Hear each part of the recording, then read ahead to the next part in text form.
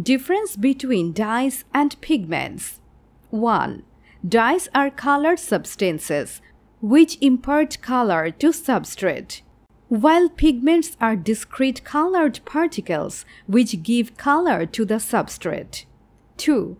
Dyes create functional groups bond between dyes and substrate, but in pigments, functional groups do not bond and typically need a binder. 3.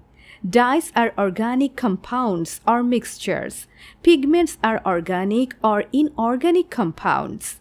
4. Dyes are soluble, but pigments are insoluble in the medium. 5. Dyes are applied in solutions or in dispersions, but pigments are used in suspensions. 6. The chemical constitution of dyes is important in the application, but the physical form and particle size of pigments are important in all applications.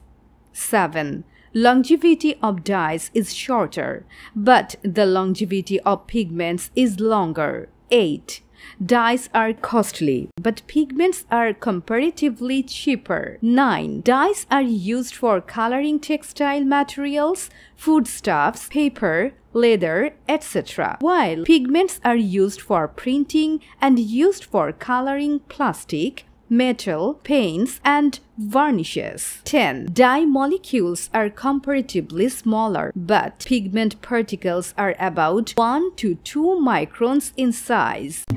Thanks for watching. Please subscribe this channel to get more updates and if you like these videos, please share with your friends.